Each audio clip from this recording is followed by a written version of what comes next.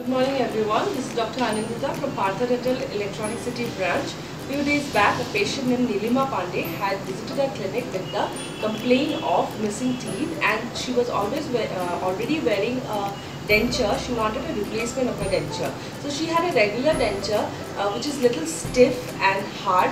Uh, we replaced it with something called flexible denture which is very flexible. It does not have any metal cast and uh, it is very very comfortable to wear. The treatment was done by Dr. Arpita, our in-house prosthodontist from Partha Dental Electronic City. Thank.